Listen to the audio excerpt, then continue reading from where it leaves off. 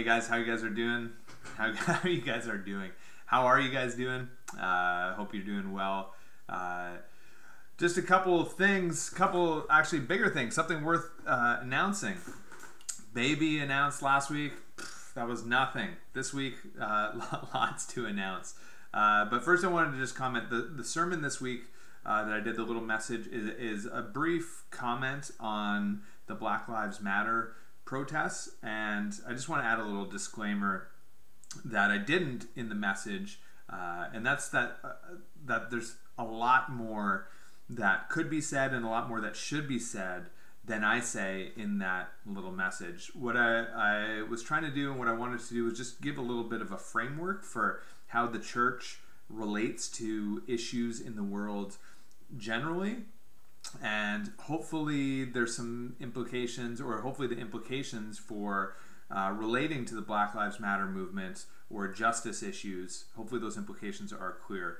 Uh, but in no way is it supposed to be some sort of definitive statement or um, or anything like that. It's just a comment how theology influences the way that we engage with social issues because I'm not sure if you've noticed, depending on how involved you are with, uh, I guess, Christian voices, uh, you might have noticed that there is disagreement. Uh, maybe you're surprised by that. I'm somewhat surprised by it, but then somewhat not surprised too.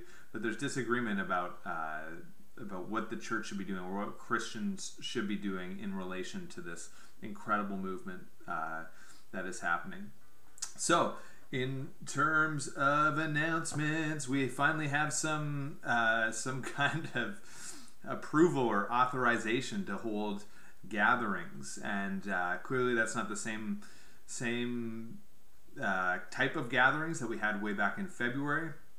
February was like hundred days ago. Isn't that crazy? But here's uh, some of the details as far as I understand them. Uh, churches are allowed to meet at 30% capacity as long as social distancing measures are kept in place. So that's great, uh, 30% capacity. Uh, however, for us, we use the City of Waterloo's adult recreation facility, and that building is not going to be opened until at least July. City of Waterloo has closed all their facilities until until the end of June, uh, which means that the 30% capacity applies to our Regina Street facility. Uh, which is definitely not as large. And so 30% of Regina Street's capacity, I would estimate maybe 10 to 15 people.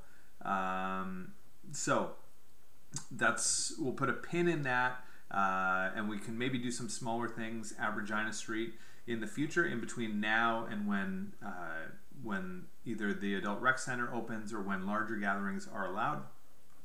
Uh, but in the in, in the meantime, Social gatherings of up to 10 people are now allowed. Uh, so that's great.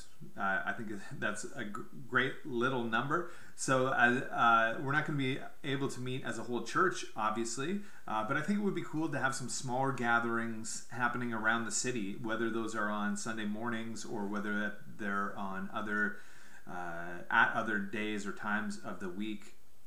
And so let's do that if people are interested. Let's have some smaller gatherings and rather than rush into a big kind of sign up and like let's get this you know thing like hey I'm going to sign up for this group and this is going to be my weekly group.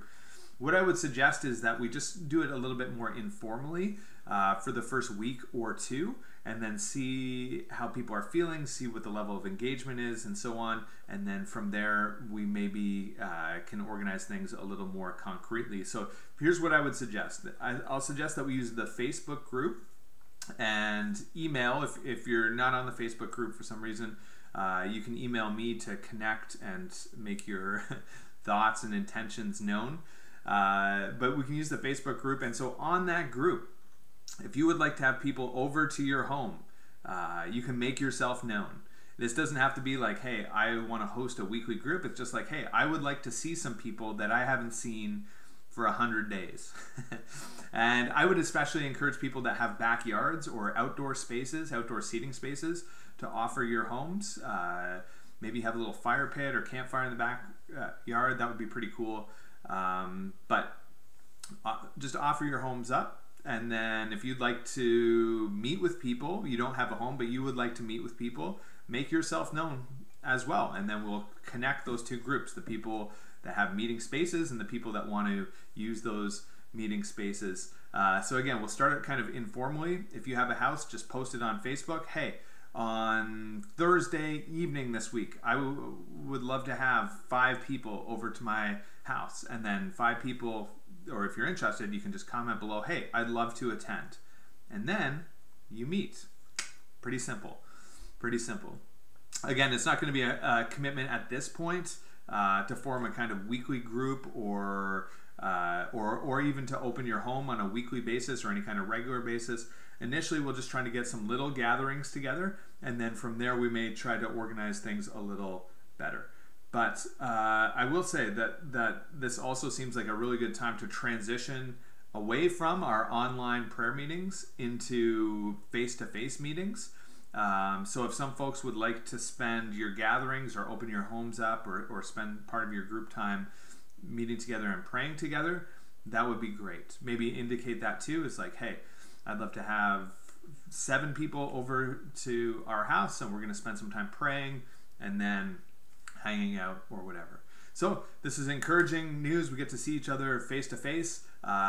When you do gather at somebody's house, I think social distancing rules still apply.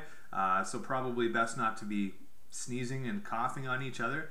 Uh, but other than that, um, let's get together, meet together. We're going to open our home up soon. Not yet, though. We have a baby that is like the size of a, of a doll, and we have parents that aren't sleeping and kids that are wild. So we're hoping, like in maybe a few weeks, couple weeks, uh, our house is ready to rock and roll. But we'd love to have some people into our backyard as well. And in the interim, hopefully you guys can connect with each other. Uh, so use the Facebook group. If again, if you're not on it, email me and I can help connect you uh, to one of the groups or people that are opening up their homes. And I think that's it. Bless you guys. Uh, love you guys. Looking forward to seeing people face to face. And uh, I think that's it for this morning. Enjoy your day.